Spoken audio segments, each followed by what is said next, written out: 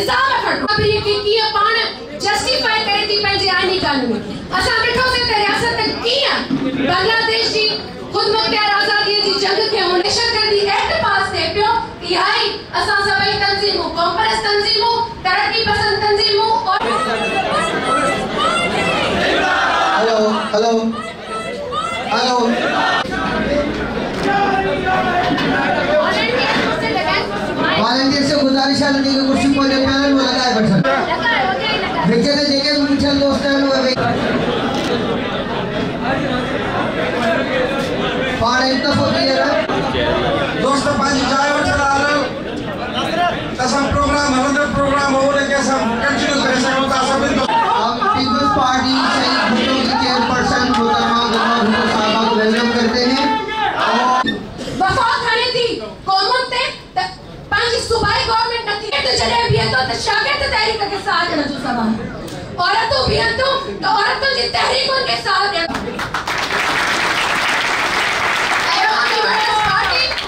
آزاد front ہو جن گرجن جے کے پہنچے سوال آزاد فرنٹ جے کے پہنچے پہنچے سوال تے بڑھن یہی ناری جمہوری مہاد سا آزاد وہ کرتن سے سامٹ جیسی تاری جاگی تاری راندی ماں پانے کے کاؤنسلر جسی کا دابی بڑھن تیسی تاری ہی نظام کے لوڈو نہیں تو۔ چہرہ مٹبا اسا کے نظام مٹانے جو سوال کرنا جو سوال۔ آئے وہ مٹائے کے تو سکے، وہ عوام مٹائے سکے تھی۔ وہ کٹیل کٹیل جڑو جہاں نتی مٹائے سکے۔ وہ صرف ہی اس سے سالے جی لڑائی سمبھی ہیں تھی، وہ قومی خود مختیاری جی جنگ سمبھی ہیں تھی۔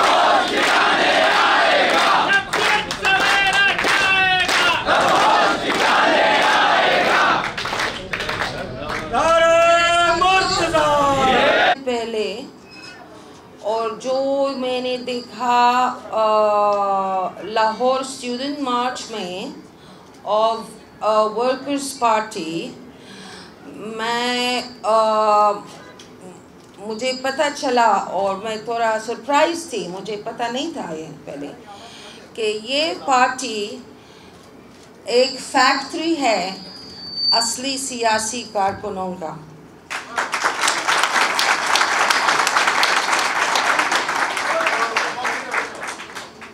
یعنی اس پارٹی میں سیاسی کارکن ان کو تربیت ملتے ہے اور وہ صحیح طریقے سے اور سیاسی طریقے سے ایچلون آف دا پارٹی پہ چلتے ہیں۔ میں کیوں اس پروگرام میں شرکت اختیار کیا۔ کیونکہ میں سمجھتی ہوں کہ ہمارے سامنے، پیپلز پارٹی کے سامنے ابھی دو راستے ہیں۔ ہم کب سے ایک راستے پہ چل رہے ہیں؟ جب سے مطلب ضیاء الحق کی موت کے بعد ایک راستے پہ سب چل رہے تھے، کیونکہ اس کے علاوہ اور کوئی دوسرے راستہ نہیں تھی۔ لیفٹسٹ پارٹیز ضیاء الحق کے ظلم کے بعد اور انٹرنیشنل سچویشن کے بدل ہونے کے بعد تھوڑا سا لیفٹسٹ توجہ تھوڑا سا کمزور ہو گیا۔ کیوں؟ کیونکہ سمراجی قوتیں ہمارے اوپر یہ فر، ایک نیریٹو امپوز کیا، فرض کیا، اور یہ نیریٹو ریلیجس نیریٹو تھا اور ایتھنک نیریٹو تھا۔ تو جہاں آپ جاتے ہیں، میں نے بھی دیکھا لبنان میں۔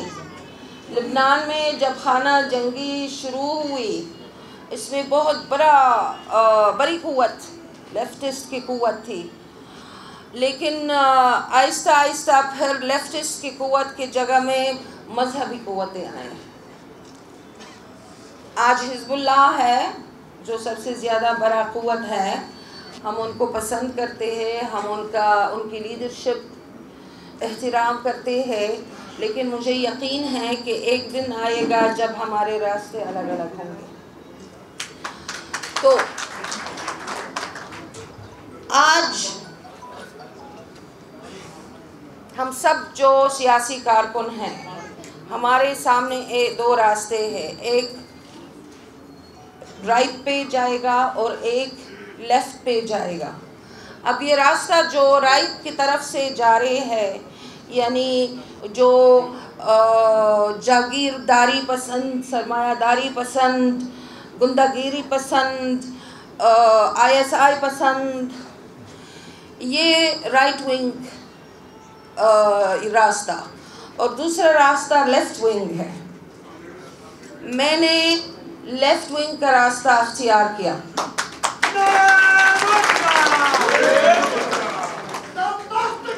اور میں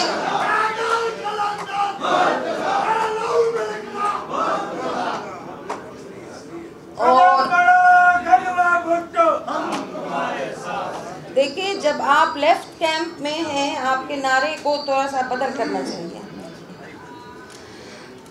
نعرہ عوام کے لیے ہونا چاہیے، ایک شخص کے لیے نہیں ہونا چاہیے۔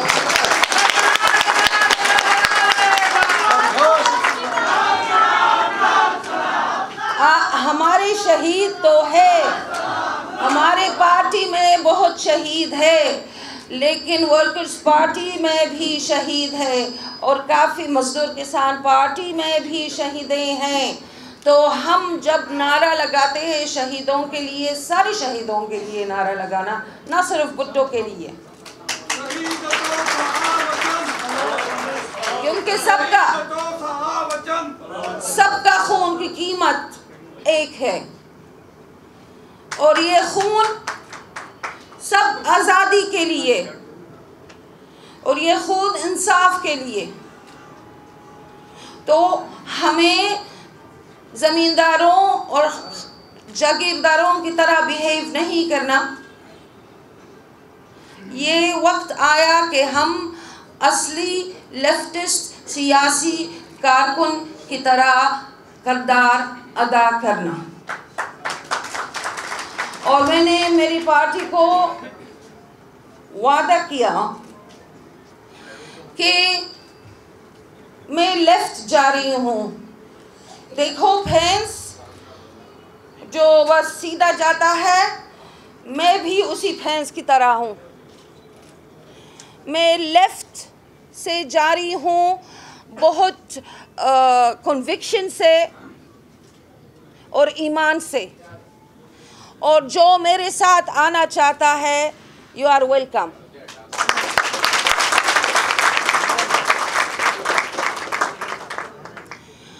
آج کا ٹائم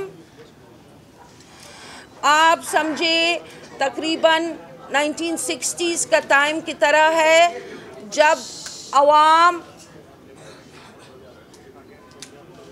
تھوڑا سا عوام کی ذہن میں کہ دل میں تھوڑا سا ہوش آ رہا ہے، زیادہ ہوش آ رہا ہے۔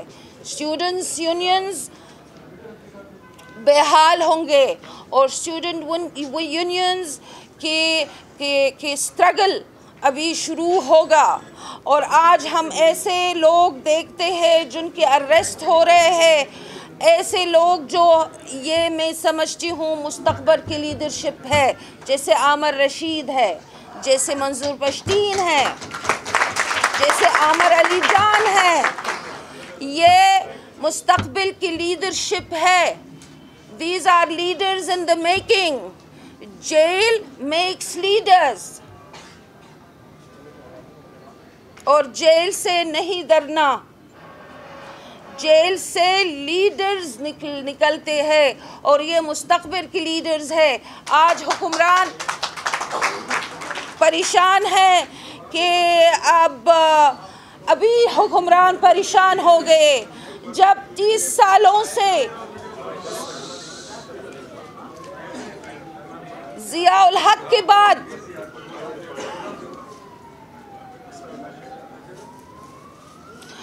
حکمرانی طبقہ آج پریشان ہے کہ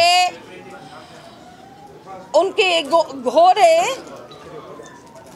ختم ہو گئے۔ ان کے گھوڑے کون ہیں؟ سرمایہ دار ہے اور جاگیردار ہے۔ وہ ختم ہو رہے ہیں۔ ان کی جگہ میں اور ان کو اور کچھ چوائسز چاہیے، لیکن وہ ان سرمایہ دار اور جاگیردار کا طبقہ سے باہر کچھ نہیں دیکھ سکتے ہیں، نہیں دیکھنا چاہتے ہیں۔ کیونکہ جو حکمران چاہتے ہیں اس ملک کے لیے، صرف سرمایہ دار اور جاگیردار لوگ ان کے لیے کر سکتے ہیں۔ لیکن آج جو نیا لیڈرشپ نکل رہا ہے۔ یہ حکمرانوں، حکمران طبقہ کے لیے اچھا نہیں ہے۔ تو آج میں ایم سوری کہ میں لیٹ سے پہنچی۔ میرے کارکن بہت مجھے ڈیلے کیا شیمن یوں لیکن انشاءاللہ میں دیر نہیں ہوں انقلاب کے لیے۔